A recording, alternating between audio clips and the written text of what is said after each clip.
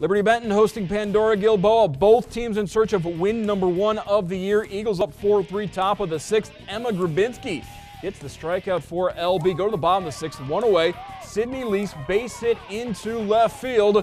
Eagles get a rally going. Two are out. Runners on first and second. Mackenzie Murphy, slow roller, gets through to the outfield. Grabinski's going to score from second. An insurance run. It's 5-3 Liberty Benton. Bases are now loaded for Casey Durlot. They're not loaded anymore. Becca Myers, Mackenzie Murphy, Emily Allen all come in to score on the three RBI double. 8-3 lead for Liberty Benton. Next up is Mackenzie Vandenvine, and she's going to bring home Durlot. 9-3 Liberty Benton in front. And the Eagles go on and get their first win of the season, 9-3 your final.